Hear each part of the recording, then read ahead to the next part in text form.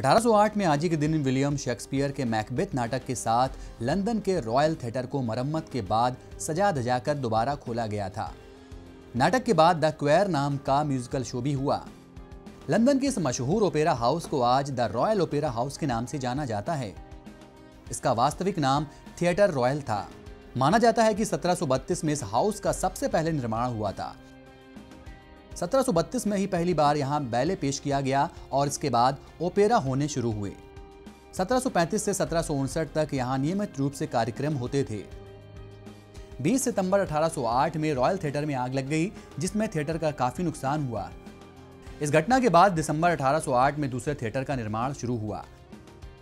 5 मार्च अठारह में एक बार फिर थिएटर में आग लग गई। अठारह में तीसरे थिएटर का काम शुरू हुआ, यह तीसरी इमारत ओपेरा हाउस के केंद्र में है। अठारह में थिएटर रॉयल ओपेरा हाउस के नाम से खोला गया। 1906 में आज ही के दिन हास्य कवि काका हाथरसी का जन्म हुआ था। काका जब पंद्रह दिन के थे, तभी प्लेग की महामारी ने उनके पिता को छीन लिया। भयंकर गरीबी में काका ने अपना संघर्ष जारी रखा और छोटी मोटी नौकरियों के साथ कविता, रचना और संगीत शिक्षा लेते रहे। वैसे तो काका हाथरसी का असली नाम प्रभुलाल गर्ग था, लेकिन उन्होंने बचपन में एक नाटक में काका का किरदार निभाया था। तभी से प्रभुलाल गर्ग काका नाम से मशहूर हो गए। इनकी पहली काव्य रचना 1933 में गुलदस्ता मासिक पत्रिका में छपी थी। काका के कारतूस और काका की फुलझड़ियाँ जैसे स्तंभों से इन्होंने पाठकों को सामाजिक जिम्मेदारियों के प्रति सचेत करने का काम किया। काका के प्रहसन लूट नीति मंथन करी, खिलखिलाहट, काका तरंग, जय बोलो बेईमान की, यार सप्तक काका के व्यंग बाण, काका के चुटकुले आदि इनकी बेहतरीन व्यंग रचनाएँ हैं।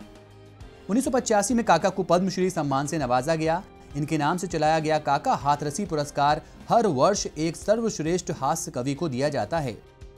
18 सितंबर 1906 को जन्म लेने वाले काका हाथरसी का निधन भी 18 सितंबर उन्नीस सौ पंचानवे में हुआ था। 1950 में आज के दिन मशहूर अभिनेत्री शबाना आजमी का जन्म हुआ था। शबाना आजमी ने अपने फिल्मी करियर की शुरुआत 1973 में श्याम बेनेगल की फ़िल्म अंकुर से की थी। इस फ़िल्म की सफलता ने शबाना आजमी को बॉलीवुड में एक अलग पहचान दिलाई। अंकुर के लिए उन्हें सर्वश्रेष्ठ अभिनेत्री का राष्ट्रीय पुरस्कार भी मिला। फ़िल्म अंकुर के बाद उन्नीस सौ तिरासी से उन्नीस सौ पचासी तक लगातार तीन सालों अर्थ, खंडहर और पार जैसी फ़िल्मों के लिए शबाना को सर्वश्रेष्ठ अभिनेत्री के राष्ट्रीय पुरस्कार से सम्मानित किया गया। निशांत स्पर्श, मंडी, मासूम, शतरंज के खिलाड़ी अमर अकबर, एंथोनी, परवरिश, मैं आज़ाद हूँ आदि इनकी बेहतरीन फ़िल्में हैं।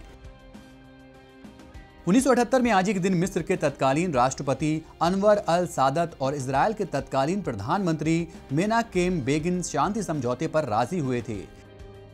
यह शांति समझौता तत्कालीन अमेरिकी राष्ट्रपति जिमी कार्टर की मौजूदगी में हुआ था। इस समझौते के बाद बेगिन और सादत संयुक्त रूप से नोबेल शांति पुरस्कार से सम्मानित किए गए। दो हफ्तों तक चली लंबी वार्ताओं के बाद यह बैठक अमेरिका के कैंप डेविड में हुई थी। समझौते के चलते इसराइल ने मिस्र का सिनाई इलाका खाली कर दिया था। इसके बदले मिस्र ने इसराइल को राष्ट्र के रूप में मान्यता दी थी। अरब लीग के देशों ने समझौते के लिए मिस्र की कड़ी निंदा की और मिस्र को अरब लीग में अपनी जगह से हाथ धोना पड़ा। मिस्र के तत्कालीन राष्ट्रपति विवादों में आ गए और उन्नीस सौ इक्यासी में उनकी हत्या कर दी गई। इस समझौते में फिलिस्तीनी लोगों को आत्मनिर्णय का अधिकार दिया गया।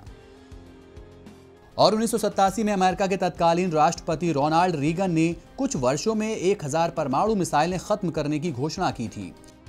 रीगन ने दुनिया को बताया कि अमेरिका और सोवियत संघ इस बात के लिए राज़ी हो गए हैं कि हज़ारों परमाणु मिसाइलों को अगले कुछ सालों में चरणबद्ध तरीके से घटा दिया जाएगा। रूस और अमेरिका के बीच परमाणु हथियार घटाने के मुद्दे पर यह पहला ठोस समझौता था।